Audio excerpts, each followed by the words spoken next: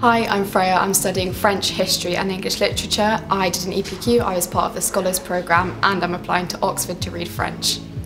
Uh, I chose Gumley for a number of reasons, the first of which was I had such incredible bonds with the teachers here from year 7 through to year 11 and that was something that I really wanted to preserve in my A-level studies. I noticed in the first half term that I was incredibly grateful that I'd chosen to do that because I had such a good foundation to start my learning journey into sixth form and I was able to kind of take away any kind of new or scary variables and stay here with the teachers that I knew. So French is my favourite of the three um, and I think my favourite part is definitely being able to speak the language in the lesson and having four hours where we can just talk in the target language is so special to me because I think that learning a language is so important. Um, so that's definitely a blessing in so many ways. English I absolutely adore just because I've loved reading and being able to look at books on a really academic level is quite fortunate to be honest. And history especially recently in the way the world is at the moment, I'm learning so much about the way that we live because of things that happened hundreds of years ago, which I think is fascinating in itself.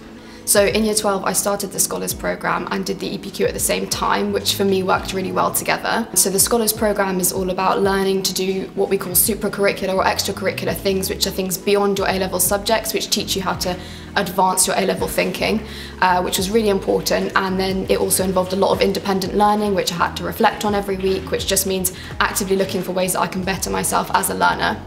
And I used this reflective practice in the EPQ as well, which again became really important. The reflections are a really important part of the EPQ process, um, as well as being able to present on my findings, research in my own way what I wanted, and at the end of it come out with a 12 page paper that I'd written and researched all by myself. So I decided to apply to Oxford, again for a number of reasons, uh, one of which was it's been my dream since I was 12 years old. Um, I've been rowing outside of school since I started Gumley, so again the boat race is a really important factor for me in choosing to go to Oxford. Uh, I sent off my UCAS application this week with the hope of being accepted to read French at St Peter's um, and it was a lot of hard work. Lockdown and the summer holidays required me to have a really holistic approach to my independent learning and actually take on the responsibility myself to get this done for me.